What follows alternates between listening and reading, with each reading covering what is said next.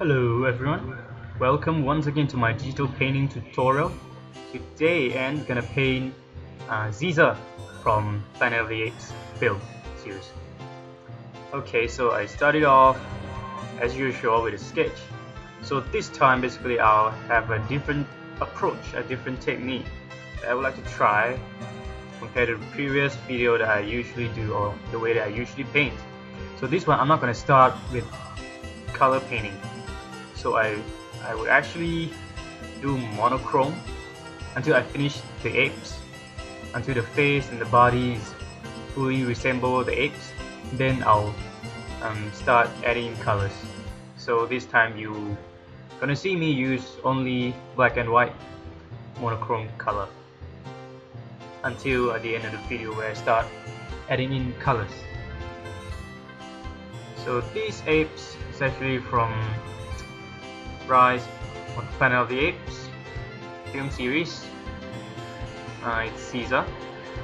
Uh, I used reference photos which is actually from the second film which is coming out soon.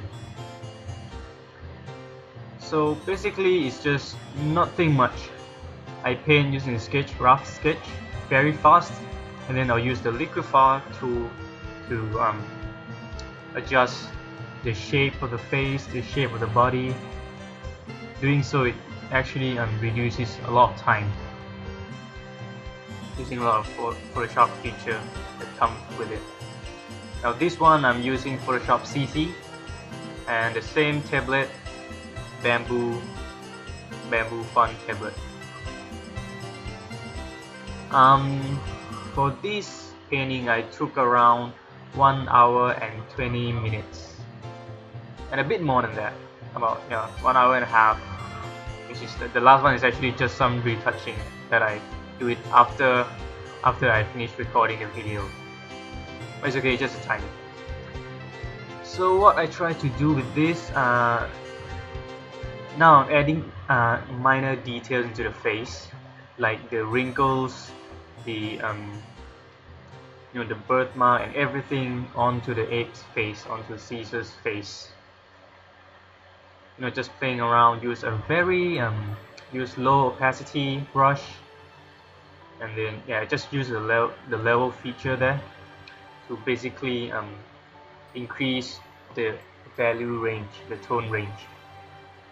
Like I mentioned before in other videos that I usually do not um, paint with a high range because it, uh, you increase mistakes you know in my opinion at least. So from now um I can see that actually the eyes is not is not in shape. The eyes is small and it is a bit too high.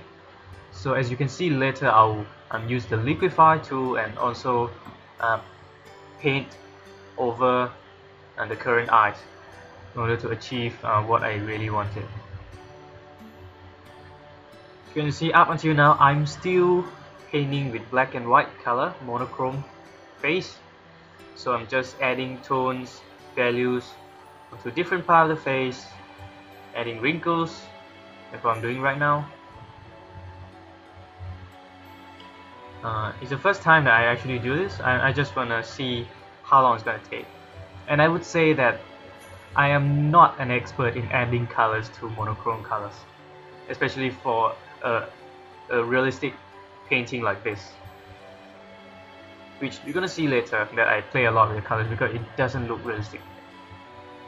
Okay, so now I'm using Liquify tool to um, adjust the the placement of the eyes and nose and all. And after that, I paint over because the Liquify tool actually gives uh, it, it gives an unrealistic look so I have to paint it over again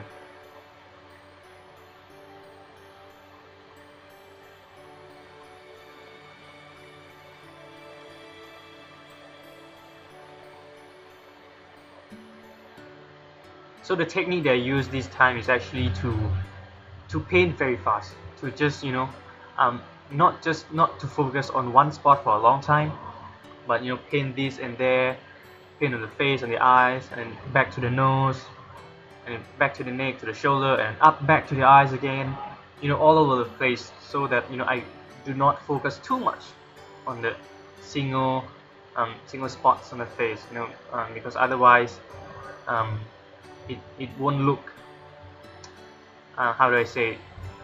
you know like um, it, it won't feel that the picture is S1 you know the painting is S1 so now yeah I think the eyes is right so I'm just adding wrinkles and all. Just you know randomly put it in up to what I feel yeah. Luckily the monkey this Caesar looks a lot like human so I just you know I think of a human face and old people and it just add wrinkles accordingly. And for the fur um, it's actually very easy for me. I, I just use a normal texture brush a chalk brush the default brush that comes with Photoshop and I just paint it over and just it just look kind of real. And on top of it right now I'm just using a, a, a low point low pixel a smaller brush size and just paint it over by using a, a light lighter color so that the the fur um, really stand out each single piece of the hair the fur and body. So it's just tiny piece like on the shoulder on the head the chest you know not not every part. Because I'm not trying to achieve like you know a super realistic um, painting. That's gonna take a long time. This one is very fast. Just uh, one one hour plus one hour and 20 minutes. So I'm just going background. I think the face or the body is actually done. Now yes I just started uh, adding colors by um, creating another layer on top and then change the, um, the layer option to color and then just paint the color over. Now as you can see that I, I actually you know took a lot of time on this I would say. Yeah almost half an hour just you know because it, it doesn't look right I add one color orange and I change to red change to purple change the level and it still it still doesn't look realistic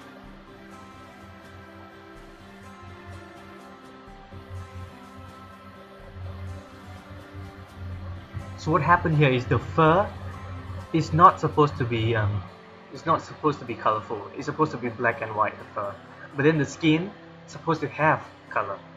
What happened on the real photo is um, the real the real apes is that the skin actually goes under the fur. So you can you it looks kind of like the fur has color, but it actually is the color from the skin underneath.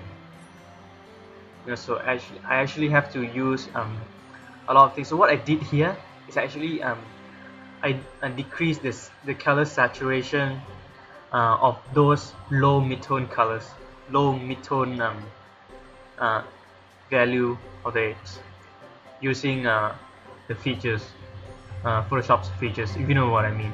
You know if you know what I'm talking about actually yeah. By decreasing those then I um, uh, it looks better. It looks much better. I don't think I recorded in this video. You know it's just after I finish it then I do it afterward. So now I just sharpen it and I also um, increase the value. So there's a, a, higher shadow area on the face the, the other half of the face that you see later at the end of the video. So now I'm just playing around with colors again. And yeah I play a, a lot with colors. Just to find the right tone. Increase saturation decrease saturation adding blue filter adding green uh, filter and also adding magenta filter. So just do some final touch up.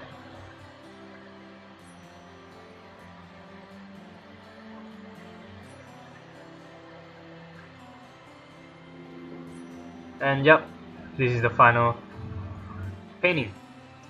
Actually uh, make it look more dramatic by decreasing the increasing contrast. Thank you for watching